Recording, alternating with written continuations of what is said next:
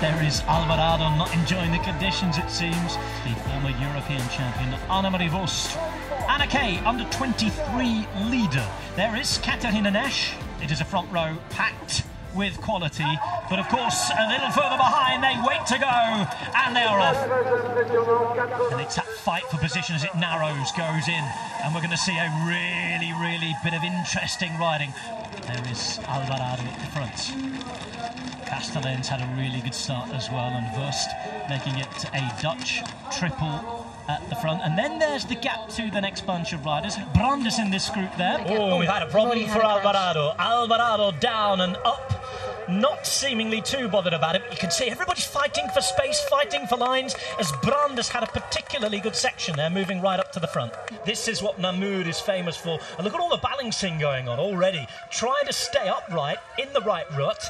This is off camber, of course, and your balance is all over the place. It's an absolute nightmare, this part. You can see that Worst is the leader, Alvarado's second, then it's Brand, then it's Kay. Oh dear.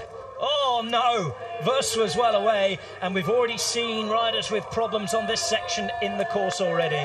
Worst down and her lead, well, cancelled out. It's now a group of three. Yeah, you can see that the, there was a move there by Ceylin Del Carmen Alvarado to come around Lucinda Brand and actually go straight around Worst as well. Well, it has been a blistering start to this five lap race. Getting towards the halfway point in a moment. Oh, well, and that could be key. And Alvarado needs to recover quickly here. That could be Alvarado's race over. Big, big opportunity for Lucinda Brand. And Alvarado now has to play catch up. These riders just one or two mistakes away from losing it all. They still. Oh, there is that mistake. There is that mistake from Lucinda Brand, who must remount quickly because Alvarado is gaining, and it might be game on again. She's not clipped in, and Brand may well be on the way to making this a much closer race.